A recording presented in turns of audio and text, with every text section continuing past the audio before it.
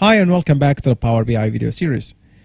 In this video I'll show you how to create cumulative production plots. So first of all what we'll do is we will be creating a uh, filter for our wells and this is going to be done on one of the columns that contains all the necessary information for the well names. Uh, you need to convert that first to a slicer. A slicer is just a name for filter in Power BI. Let's go ahead and resize that and then we'll move ahead to creation of monthly production plot. So uh, let's go ahead and add a line chart to our canvas. We'll resize that chart and we'll be adding the x uh, axis as a date and the y-axis as any variable that we want to create a cumulative for. In order to create a cumulative uh, it's uh, required to have uh, a DAX formula written. So in order to do that, let's go ahead and create a new measure.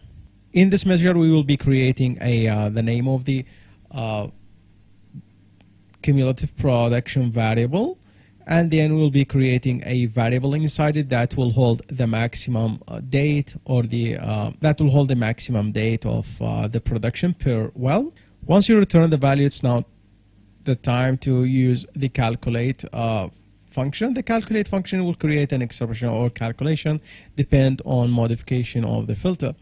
Uh, the calculation that we want to create is, is actually the summation or the running summation or the total running summation of uh, oil production. So we'll be using the oil column and then we should filter out any date that is not lying in the range of the dates we have by using the maximum date that we have created.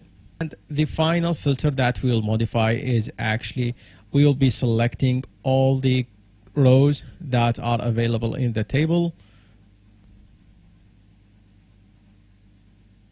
Once we do that, now it's time to go ahead and utilize this uh, inside a line chart. So we'll drag and drop our cumulative uh, in the y-axis and the date is going to be on the x-axis.